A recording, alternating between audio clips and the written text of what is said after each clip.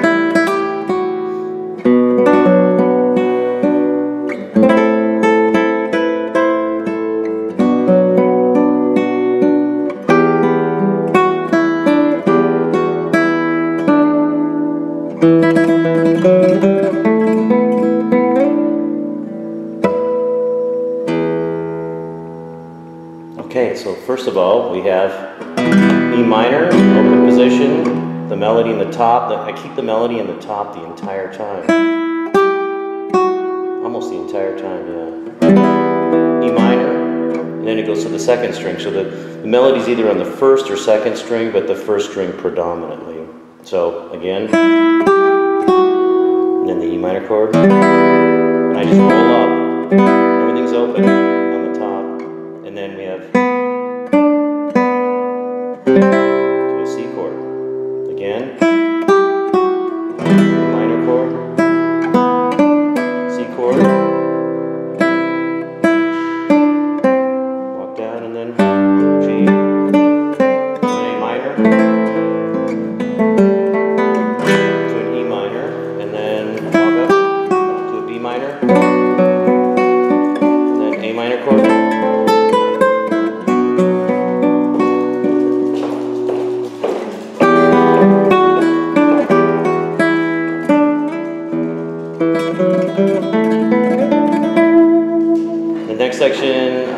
see, third position. To G chord,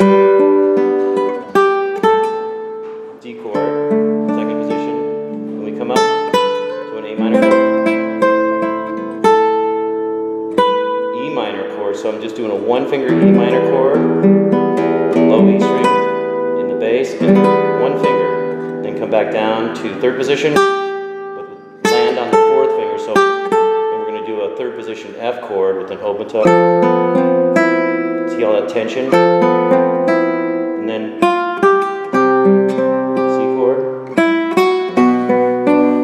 E minor chord, D chord, E minor chord again.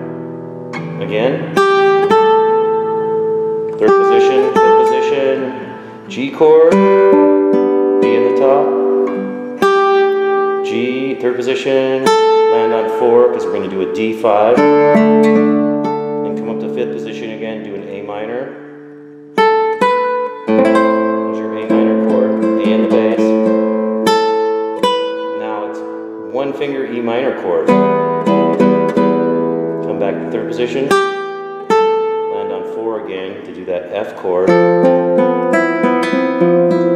Major seven A lot of tension there. And Back to first position. C chord. Second position, B minor. In your D.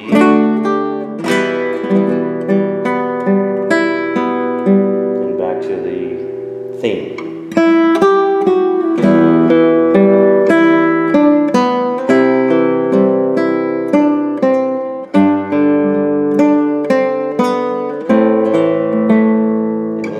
is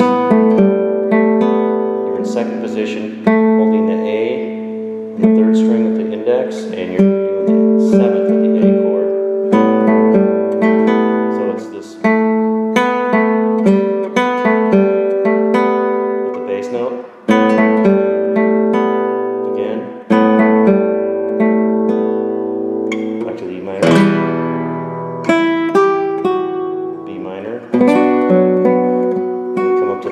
Fifth position, A minor.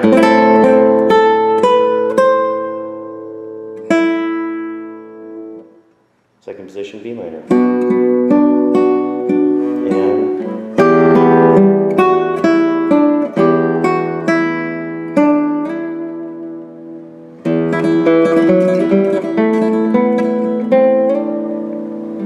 And I just do a scale out.